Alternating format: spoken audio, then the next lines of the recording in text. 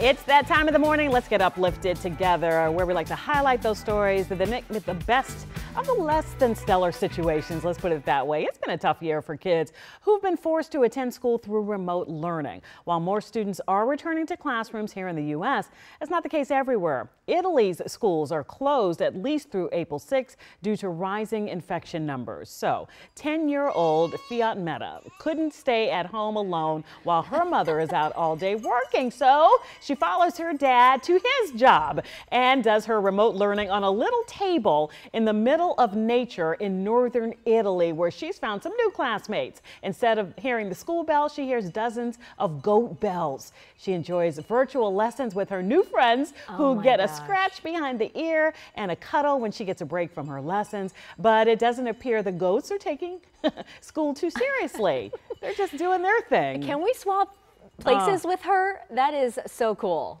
That she might never have, you know, gotten that opportunity. I, I hope that she's back in the classroom um, in April, but in the meantime, I love that so much. I love it. I love that she can just take a break, walk away, and right. give you know the goat a little scratch behind the ear. This is so great.